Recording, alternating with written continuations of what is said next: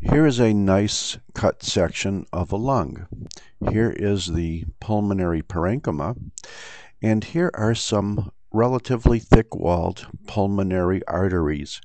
Notice that they appear to be distended. Notice also that they are just jam-packed with blood clot material. It's not just the kind of red gelatinous blood you normally see post-mortem, but there are areas in it perhaps that are look more fibrinous or whiter than usual. Here is the same thing microscopically now.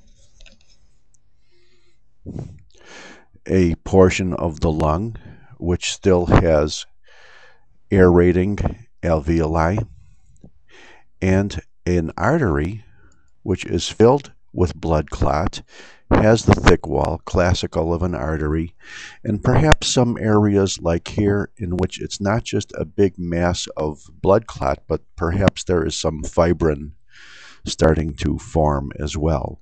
This could uh, very easily firmly attach this clot to the wall of the vessel, which is another feature of a pulmonary embolism rather than a postmortem blood clot. Also, uh, you should understand that almost all of the clots that are inside of pulmonary arteries at any time in your life or death probably in most cases 99% of the time do not form there.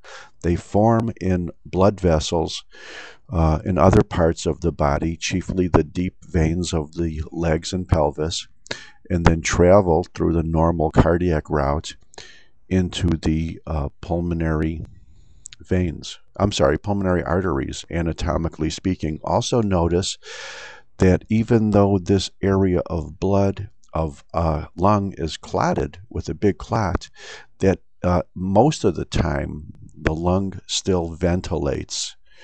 And that is the classical hallmark of a pulmonary embolism, is that there is no perfusion to the lung, but there is still ventilation. And this forms the basis for a lot of diagnostic tests. And the term VQ mismatch refers to the fact that in pulmonary uh, embolism, there is still ventilation, as you could see air out here, but no perfusion, as you could see the uh, pulmonary uh, vessel is uh, blocked. Also remember that even though this pulmonary vessel is blocked, uh, usually there is still circulation uh, by the bronchial uh, circulation. Thank you very much.